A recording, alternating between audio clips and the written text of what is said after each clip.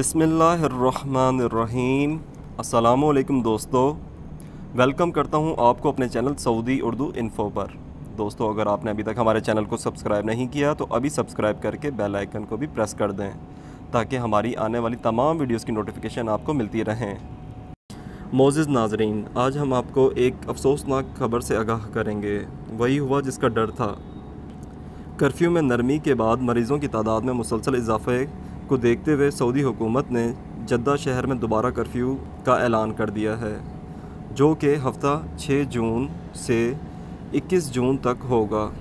सुबह 6 से दोपहर 3 बजे तक नरमी की जाएगी। इसके अलावा मस्जिद को दोबारा नमाज़ों के लिए बंद कर दिया गया है।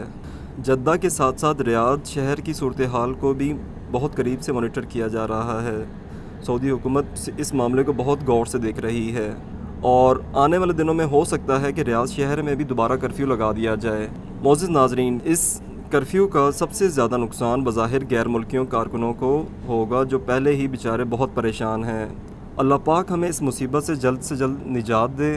आमीन। इस कर्फ्यू से पहले, जैसा कि आप लोगों को हमने पहले भी आगाह किया था कि हुकूमत की जानब से जनाजा वगैरह और शादी वगैरह की तकरीबा में ज़्यादा से ज़्यादा पचास लोगों को अलाउ कर दिया गया था। जिसमें शर्त ये थी कि हुकूमत की बताए गए असूलों पर अमल करना है। लेकिन अब इंतहाई अफसोसनाक खबर यह है कि अब दोबारा से कर्फ्यू जद्दा में लगा दिया गया है और रियाज को भी बहुत करीब से मॉनिटर किया जा रहा है। सऊदी हुकूमत का कहना है कि अगर केसेस में इसी तरह बढ़ते रहे तो आने वाले दिनों में दोबारा से रियाज में भी कर्फ्यू लगा दिया जाएगा और मसाजिद में भी नमाज़ पढ़ने पर पाबंदी लगा दी जाएगी।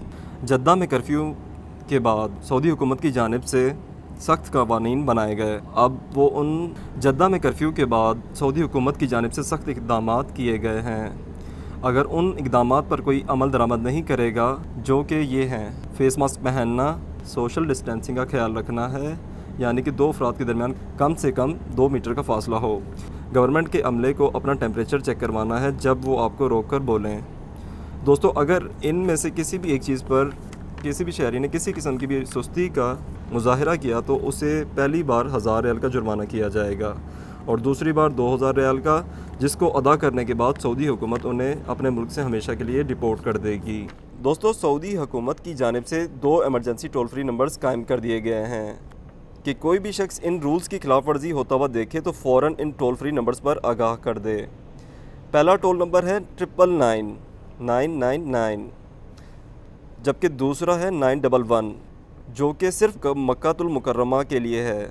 तो वो मेरे भाई जो ममलिकत में मौजूद हैं, उनसे अल्तमास है कि वो अपना बहुत सा ख्याल रखें और बताए गए असूलों की मुकम्मल पासदारी करें, ताकि किसी भी किस्म की मुश्किल से बचते हुए सेहतमंद ज़िंदगी गुजार सकें। अल्लाह ताला से दुआ है कि अब अल्लाह ताला हमें इस वबा जल्द से जल्द निजात दे।